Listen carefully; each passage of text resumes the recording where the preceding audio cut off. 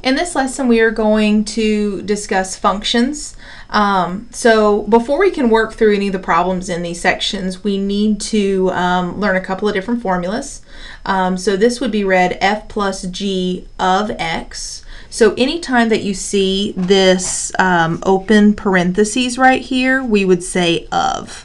So this one would be f of x plus g of x. So essentially all we're doing is we're breaking apart um, these two um, variables to each have that x in the parentheses next to it. So here, same thing, except instead of a plus in the middle, it would have a minus. This one would be multiplication, and this one would be division. If you wanted to, you could also break this up to be f of x divided by g of x if you would prefer to write it um, vertically instead of horizontally. So um, the difference between the left side and right side um, of the equal sign is that each letter is broken apart.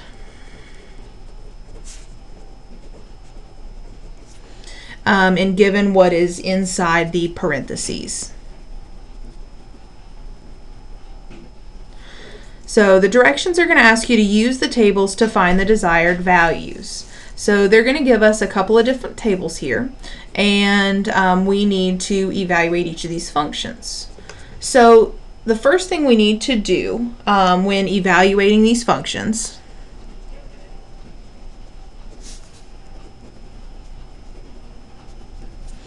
is to break them apart using the formulas. All right. After breaking your problem apart, you will notice that the number in the parentheses has replaced the x.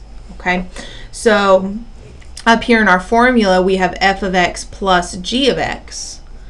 If we look here at number 2, if we broke that apart into our formula, it would be f of 5 plus h of 5. So notice that instead of putting x's in these parentheses, we have these 5's. So when we're going to evaluate these, we will go to our table of our problem, um, the one that we're using, and we will look for that value in the x column.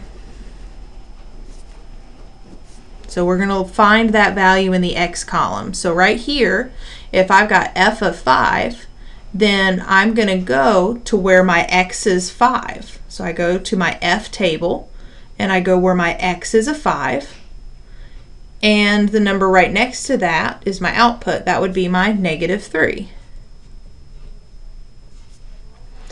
All right.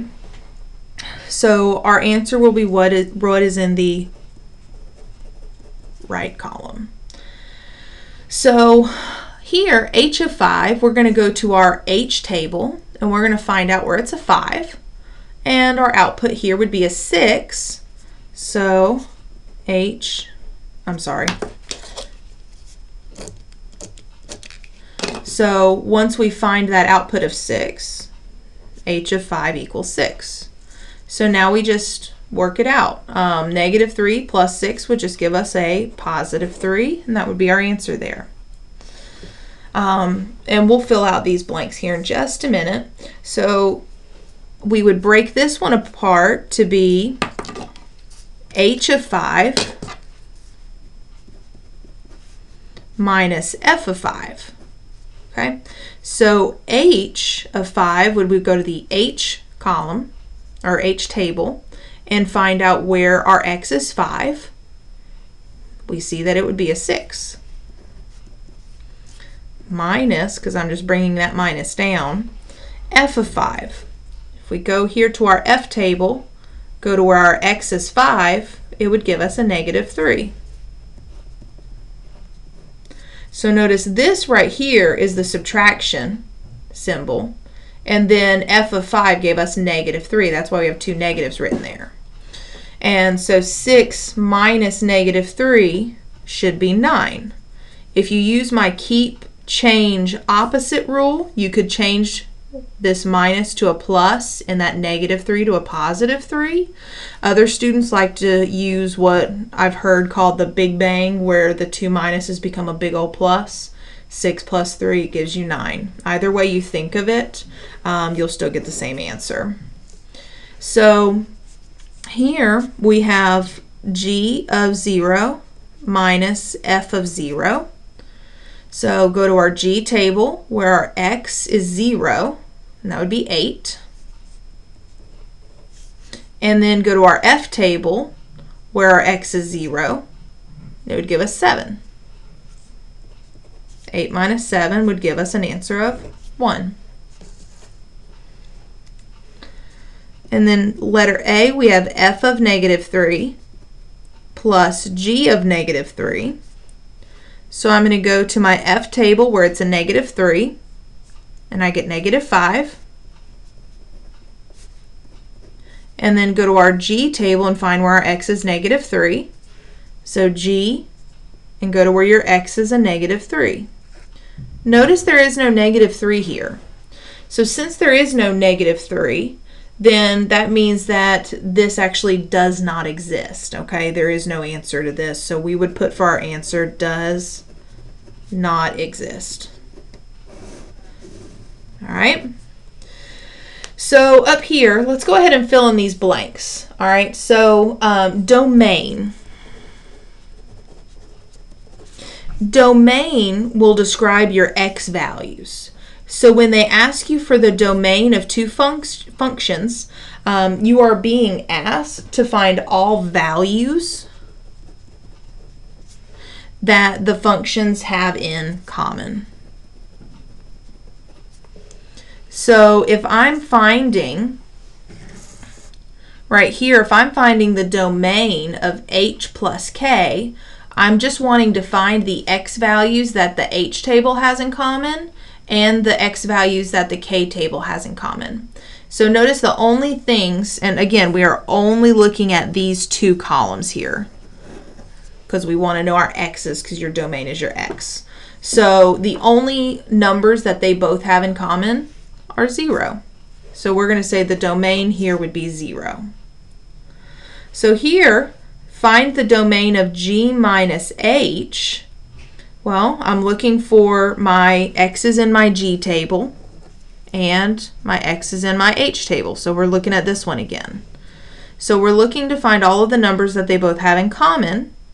And don't worry about the subtraction here. Literally, all we're trying to find are the numbers that they have in common with their x's. The minus doesn't change it, the plus doesn't change it. We're just trying to look at those specific tables.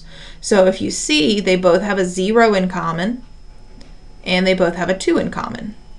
So we have 0 and 2 for the uh, domain there. So now, let's see what happens when we don't have a table. So number 12, we've got f of x equals 9x minus 3, g of x equals negative 3x plus 5. So remember the first thing we need to do is we need to break this apart to be f of x plus g of x. So break it apart, show your formula. So they tell me f of x is 9x minus 3. I'm going to bring my plus sign down. And they tell me g of x is negative 3x plus 5. So I want to put these in parentheses because I'm adding this expression and this expression together. All right, so if we don't put those in parentheses, we might get a little confused when we get to subtraction because it's going to change a couple of signs somewhere. So before we can work this out, we need to get these out of the parentheses. So first off, can I combine those two terms inside? The answer is no, because they're not like terms. And then, is there anything multiplying out in front? A lot of people would tell me that there's an understood 1 written out there, and it's multiplying by the 9x and the negative 3. But even if there is that 1, that's not going to change our problem. So that means that this 9x minus 3 can be released. Then I say, okay, can I combine these two terms? No. Is there anything multiplying out in front? Still just that positive 1 there. Now if I multiply positive 1 by each of those, then I'm still going to be left with a negative 3x plus 5. And so now we would combine our like terms, which would give us 6x plus 2. Okay. So now let's go ahead and look at letter B. So now it's f minus g of x. So I have my f of x minus g of x. So f of x would be 9x minus 3 minus, I just brought that down, g of x, which is negative 3x plus 5. So now I need to uh, remove them from the parentheses by asking my two questions. Can I combine the two terms inside? The answer is no. Is there anything multiplying out in front? There's that 1 there, but it's not going to change anything. So I bring that 9x minus 3 out. So now here, can I combine those two terms? No. And is there anything multiplying out in front? This time the answer is yes, because this is understood to be a 1, but since it's subtraction, this is actually a negative 1. So we're going to need to distribute that negative 1 into each of those terms. So negative 1 times negative 3x would be a positive 3x, and a negative 1 times positive 5 is a negative 5. So now we would combine our like terms to give us 12x minus 8. All right, so now notice that we have a number here in place of our x. So we have f of 3 plus g of 3. All right, let me white that out so it's a little easier to see. So there's a couple of different ways that you can work these problems. Um, I'm going to do it the way I think is the easiest because I feel like if we put too much right here, then it might stress us out and we'll get a little overwhelmed. So first thing I'm going to do is I'm going to evaluate f of 3. So if I have f of 3, that means I'm going to replace all of my x's with that 3 in my f equation. So I have 9x minus 3. So if I do f of 3, it would give me 9 times 3 minus 3. So again, I'm taking this 3 inside of my parentheses and I'm putting it in the x's of my f equation. So I've got my f and I'm putting the 3 in place of that x. So that'd be 9 times 3 minus 3. So now I multiply my 9 times 3 because that's in my order of operations. It gives me 27 and bring down your minus 3 to get 24. So we now have 24 for f of 3. Now we need to find out what g of 3 is, and we're going to do the same thing, except we're going to plug the 3 into the x's of our g equation. So g of 3 means I'm going to have negative 3 times 3 plus 5. So that gives us negative 9 plus 5 which is negative 4. So now I have 24 plus negative 4, which would give you 20. All right, so now f minus g of 2, f of 2 minus g of 2.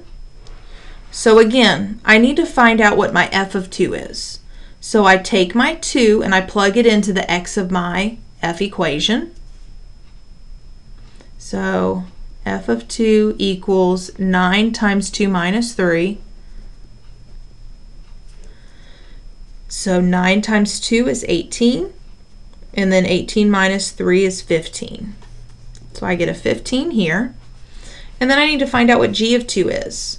So I go to my g equation, I plug 2 in for that x. So that'd be negative 3 times 2 plus 5.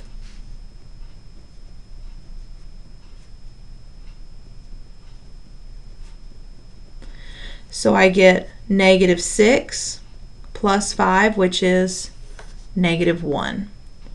So that negative right there, I brought down from my minus right here. And then I got negative 1 for my g of 2. So again, that's minus a negative. So that really means you're adding these two together, which would give you 16 for your answer.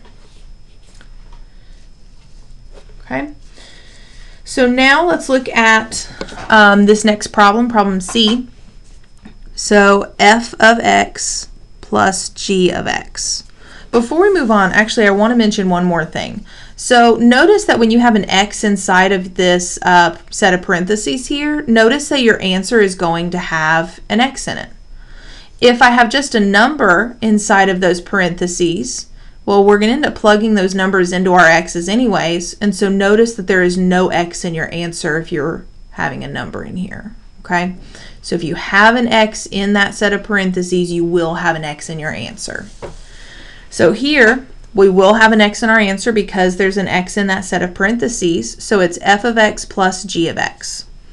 So f of x was x squared plus 2x minus 4 g of x is negative 4x squared minus x plus 10. All right, so remember those parentheses are important. They don't really change anything in the addition problems, but they will change it in the subtraction problems. So I can't combine any of my terms, and there's nothing multiplying out in front other than that positive 1. So all of that is going to release from that set of parentheses. And same thing here. Can't combine any of the terms because they're not like. There's just a positive 1 multiplying in front, so I can release everything in here as well. So now I'm going to combine my like terms. When they get a little messy like this, I like to do different things so I can differentiate my like terms. It kind of helps draw my attention to which ones are like. So first off, start off with your x squareds. It's 1 minus 4, so that would give you negative 3x squared. 2x minus x would give you a x or 1x, either way would work. And then negative 4 plus 10 would give you a positive 6. All right, so on C, f of x minus g of x f of x is x squared plus 2x minus 4. Bring that minus sign down. g of x is negative 4x squared minus x plus 10. So now, can't combine any of those terms. There's nothing but a 1 multiplying out in front, so I can release these.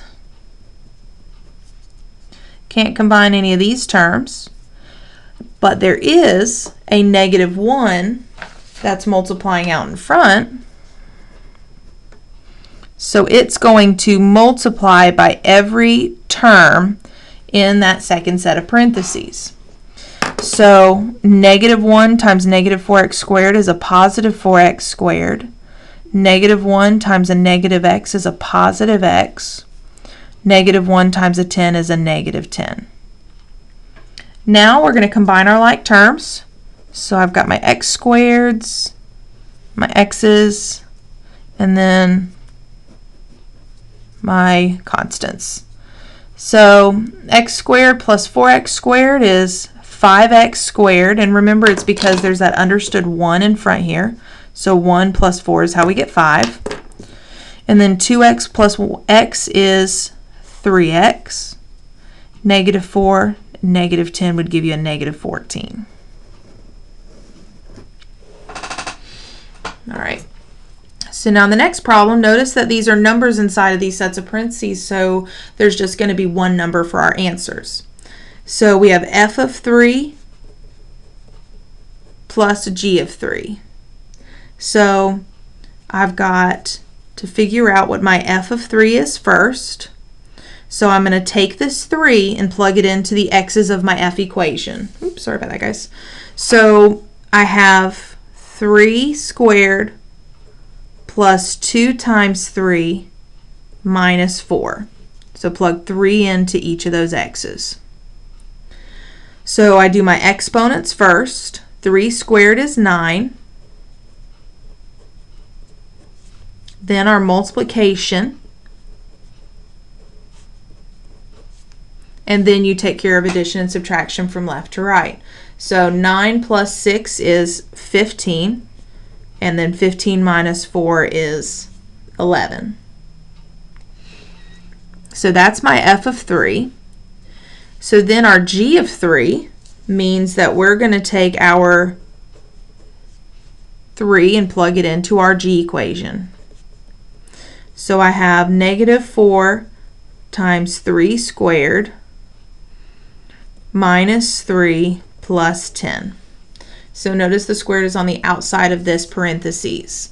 So this negative 4 is multiplying by that 3, and that 3 is being raised to the exponent of 2. Remember your order of operations tells you that you do your exponents first. So we bring that negative 4 down, because we haven't used it yet, and that 3 squared becomes a 9. Bring everything else down. Then that negative 4 times 9 is going to give me negative 36. This just becomes a negative 3, and that's a 10. Negative 36 minus 3 is negative 39 plus 10. And when you add those together, that gives you negative 29. So now we have to combine our g of 3 answer with our f of 3 answer, which would give me negative 18. All right, so now let's do letter D, f of 2 minus g of 2. So f of 2 is 2 squared plus 2 times 2 minus 4. Exponents first, that gives you 4. Then your multiplication. All right, so now we have 4 plus 4, which is 8. And then 8 minus 4 is 4. All right, so then we're going to take our G equation, we're going to plug a 2 into it. So you have negative 4 times 2 squared minus 2 plus 10. So do your exponents first. So 2 squared is 4. Now we multiply. Negative 4 times 4 is negative 16. This just becomes a negative 2. So then we have negative 16 minus 2 is negative 18. And negative 18 plus 10 is negative 8. So that's 4 minus negative 8, which is essentially 4 plus 8, which would give us 12. All right, so now, same exact concept, but now we're going to work with the multiplication and division. So still break it apart. It would be h of negative 2 times k of negative 2. So go to my h table, and where my x is a negative 2, which would give me a negative 4.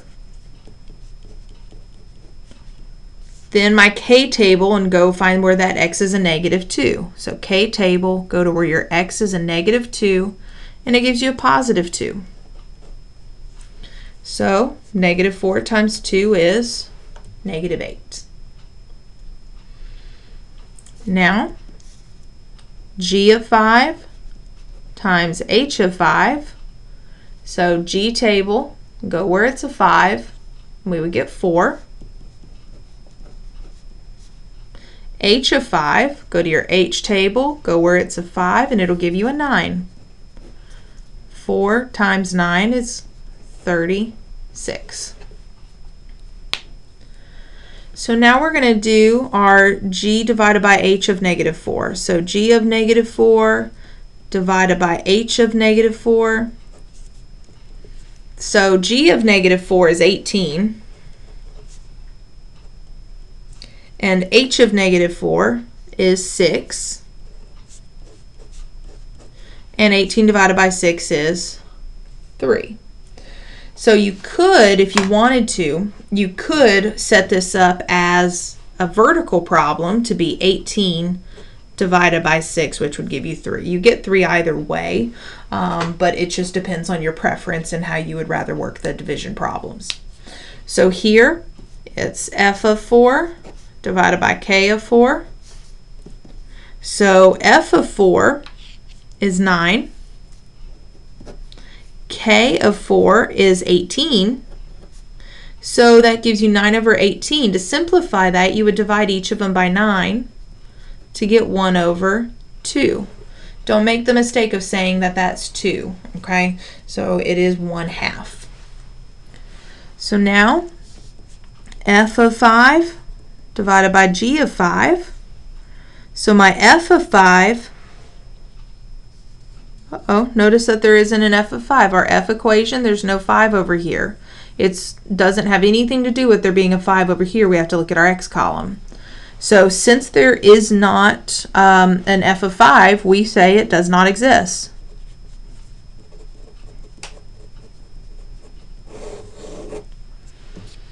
All right, then they wanted us to find the domain of h divided by k. Again, all they're asking us for is what do those have in common? So go to your h and your k, and what do they all have in common? It looks like they have a negative 2 in common. All right, so now letter A is f of x times g of x. I'm just using the formula we were given.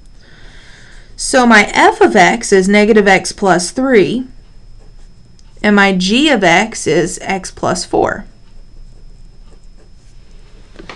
Hopefully you remember that in order to multiply these, you're going to use your distributive property. So we're going to take our negative x and multiply it by each of those terms. Then we're going to take our 3 and multiply it by each of those terms. So negative x times x is negative x squared. Negative x times 4 is negative 4x. Then 3 times x is 3x. And then 3 times 4 is 12. Now we combine our like terms to get negative x squared minus x. If you wanted to write the 1, that's okay. And then bring down your plus 12. So now f divided by g of x, so it's f of x divided by g of x. So our f of x is negative x plus 3. Our g of x is x plus 4. So guys, when you have um, this expression, you might be a little tempted to cancel out those x's. You cannot cancel those x's out because they are connected to that 3 and that 4. So the only way that those could cancel out is if they were the exact same. So for instance, if you had x plus 3, x minus 5 over x minus 5, well then those could cancel out because that x minus 5 is multiplying by the x plus 3. But you could not just cancel out the x and the x. Or if you had x plus 3 over 3, you could not just cancel those 3's out because that 3 is connected to the x. So at this point, this is as far as we can go. Um, we can't simplify it at all, so that's our answer. So here, um, f times g of x again. So f of x times g of x. My f of x equation is uh, negative 3x plus 5, and my g of x is negative x plus 2. Negative 3x times negative x is positive. It's positive 3x squared. Negative 3x times 2 is negative 6x. Then 5 times negative x is negative 5x. And then 5 times 2 is 10. So now combine your like terms to get 3x squared minus 11x plus 10. All right, so now b, f of x divided by g of x. So my f of x is negative 3x plus 5. g of x is negative x plus 2. Again, we cannot cancel out these x's because they are connected to that plus 5 and that plus 2. and nothing else seems to look like it wants to cancel either. So that is our answer. All right, so number 40, we've got f of x times g of x. So my f of x is x plus 5. My g of x is 1 minus 3x. So I'm going to distribute here. So that's going to give me x times 1 is x. x times negative 3x is negative 3x squared. Then 5 times 1 is 5. 5 times negative 3x is negative 15x. Now combine your like terms. So again, you want to put these in descending order so that negative 3x squared would come first. And then I've got a 1x and a negative 15x. So that would combine to give me a negative 14x because there's an understood 1 here. And then bring your 5 down. It would be plus 5. All right. So it looks like we've got a little bit of a typo here. Sorry about that, guys. That zero shouldn't be there. So this is just f of x divided by g of x. So my f of x is x plus 5. My g of x is 1 minus 3x. Um, can't cancel the x's out. Nothing else seems to cancel.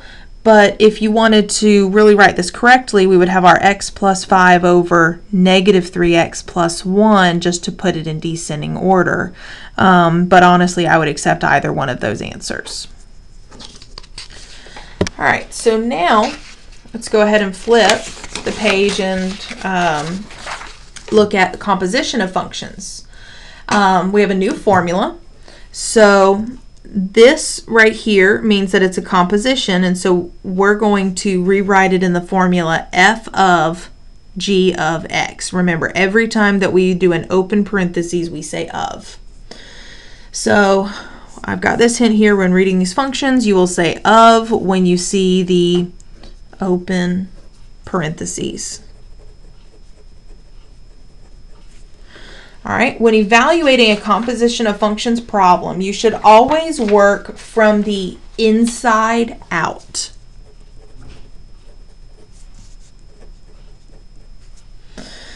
So the directions ask you to use the functions defined by the tables to evaluate the compositions in the following exercises.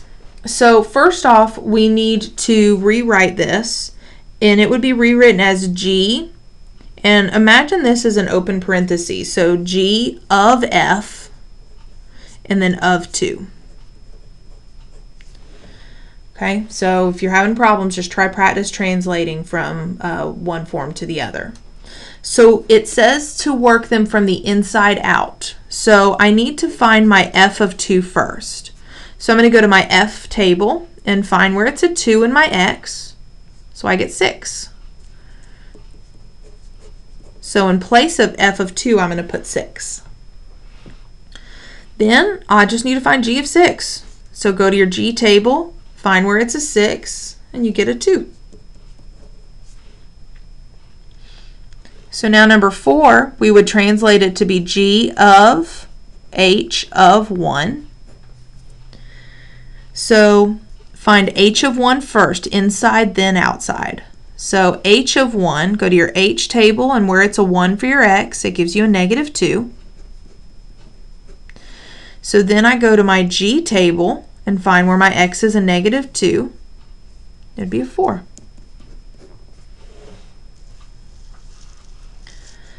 All right, so now number 6, we have k of h of 0. So h of 0, go to your h table where it's a 0, and you'll get 0. Then we need to plug in that 0 for my k table. So go to your k where it's a 0 and you get 4. Now we have k of g of 1. So g of 1, go to your g table where it's a 1 and you'll get negative 2. Then our k table, we'll go to k where it's a negative 2 and we will get a 0. Number 10, we have k of g of 4. So work your inside out inside first. So g of 4, go to your g table where it's a 4 in your x, and you get 3. And then go to your k table where it's a 3, and you get negative 4. And finally, number 12, f of f of negative 3. Don't get intimidated by the fact that they've got the same variable in there. You still work it the same way. So f of negative 3 would give you negative 1. And then, where you have your f of negative 1, you get a 7. Remember to always look in that x side to get the output of what you would get. All right, so now, um, next page. So we're still working these the same way. So f of g of 0. So before you work this, notice it's g of 0. So remember in the other problems we said that if we've got a 0 in here, we're going to plug that into that equation. So if I've got g of 0, I'm going to plug 0 into 3x plus 4.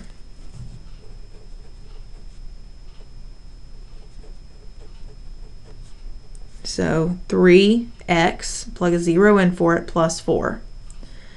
To solve, you would multiply those together to get 0, and 0 plus 4 is 4. Now we've got f of 4, so I'm going to take, sorry about that, so now I'm going to take my 4 and plug it into the x of my f equation. So 4 minus 1. So f of 4 is 4 minus 1, which would give me 3. Now b, it's f of g of negative 2. So the first thing we need to do is find g of negative 2.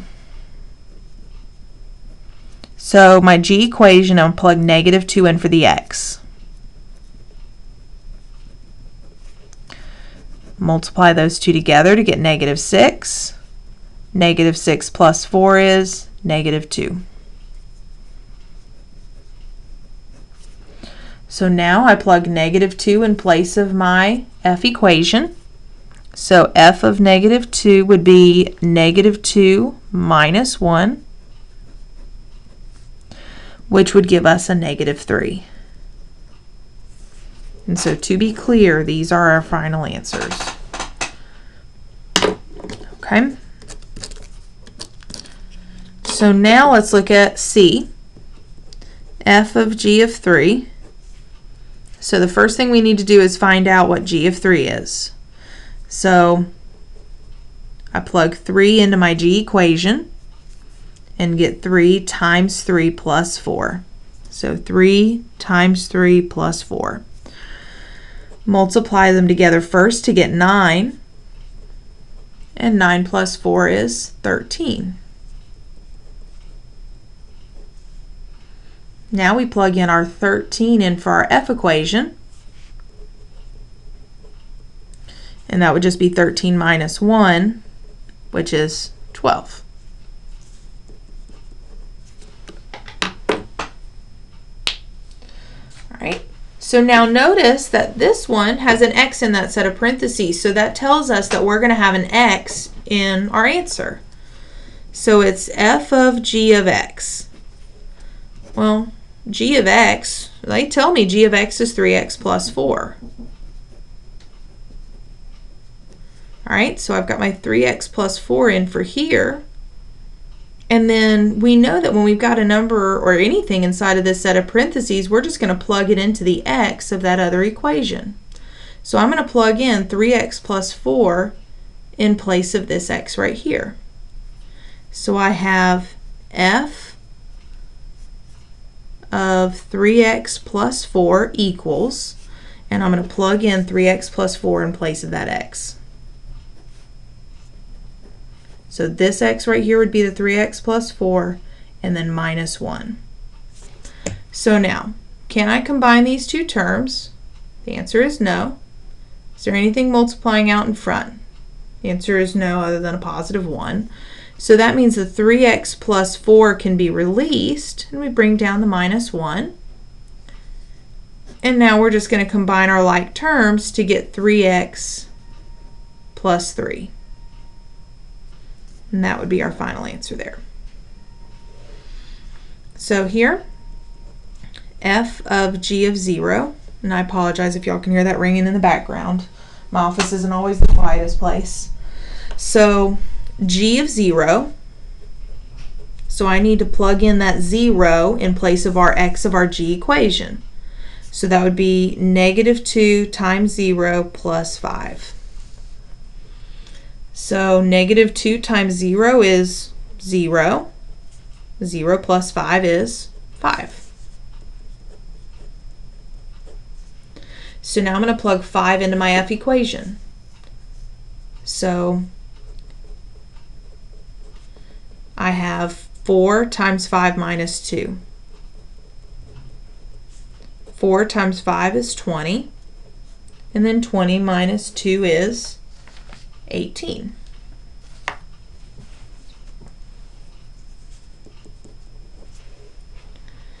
All right, so now f of g of negative 2.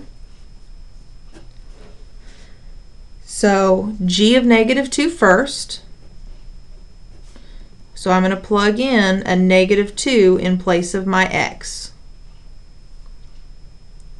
Negative 2 times negative 2 is 4.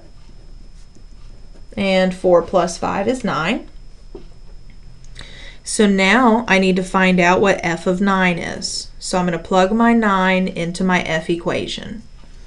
So f of 9 is 4 times 9 minus 2. 4 times 9 is 36. 36 minus 2 is 34. So again, to be clear, these are our answers. All right. G of f of 3. So first, find your f of 3. So I'm going to plug 3 in for that x. So I get 4 times 3 minus 2. So 4 times 3 is 12. And 12 minus 2 is 10. So now I'm trying to find what g of 10 is. So I go to my g equation and I plug in 10 for that x. So that would be negative 2 times 10 plus 5. So negative 2 times 10 is negative 20. And negative 20 plus 5 is negative 15. So negative 15 is my answer. All right, so now g of f of x. So they tell me f of x is 4x minus 2. So I'm going to go and plug that guy in there. Then I'm going to find out what this gives me. So I plug my 4x minus 2 in place of the x of my g. So I'm going to plug that in right there. So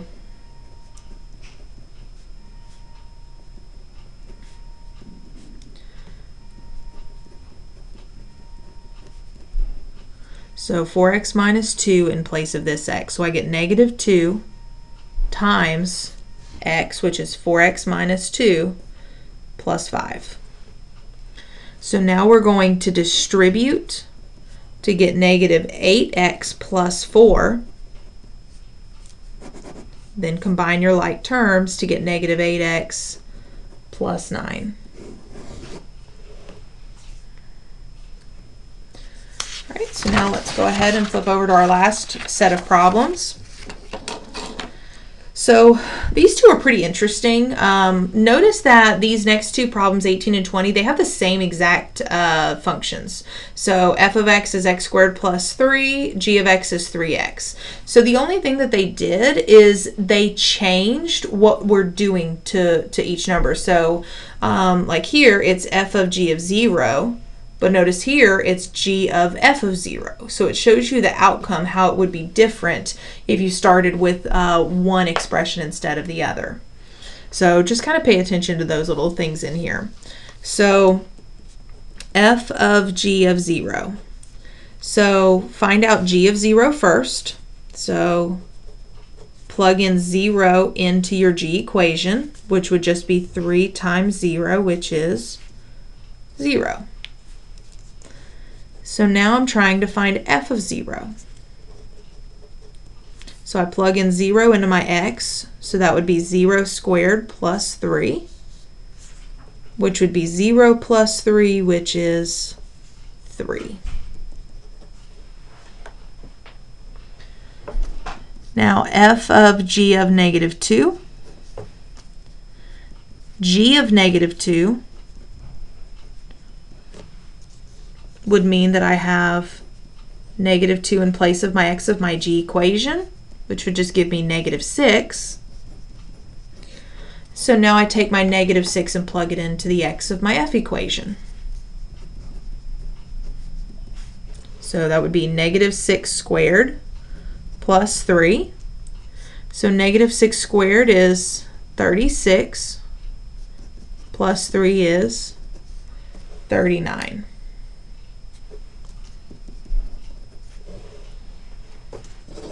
These are our final answers. Now we have g of f of 3. So f of 3 first. So plug in 3 for your f equation. 3 squared is 9. 9 plus 3 is 12. Now we take that 12 and plug it into our x's of our g equation. So that would be 3 times 12, which is 36. All right, so now g of f of x. Well, they tell me that f of x is x squared plus 3. So we take that x squared plus 3 and we plug it into our x of our g equation. So that would be just 3 times x squared plus 3. And we would distribute to get 3x squared plus 9.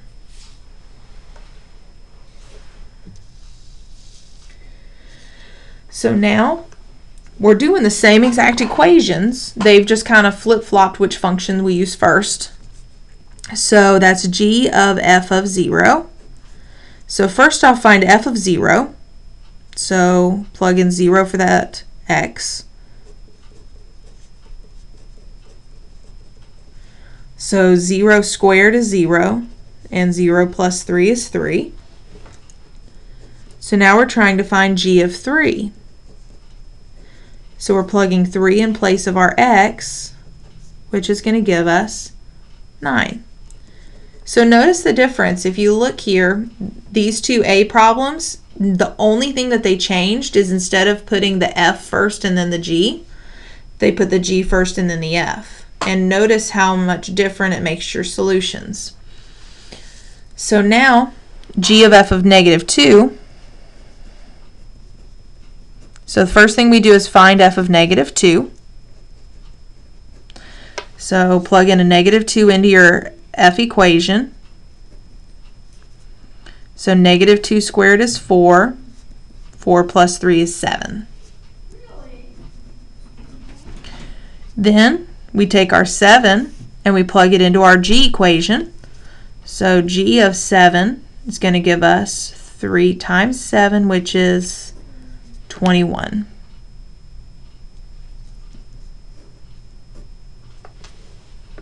All right. So now let's look at letter C. So it's f of g of 3. So we find g of 3 first. So I plug 3 in place of my g equation, which would give me 9, because 3 times 3 is 9. And now I'm finding f of 9. So I'm going to plug in 9 into my f equation.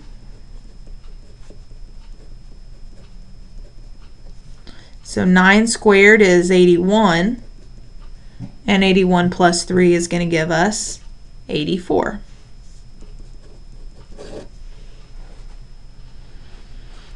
And for our last problem, it's f of g of x. So we're going to find our g of x, which is just 3x. And then we take that 3x and we plug it into the x of our f equation. So f of 3x means we do 3x into our f equation x, so x squared plus 3.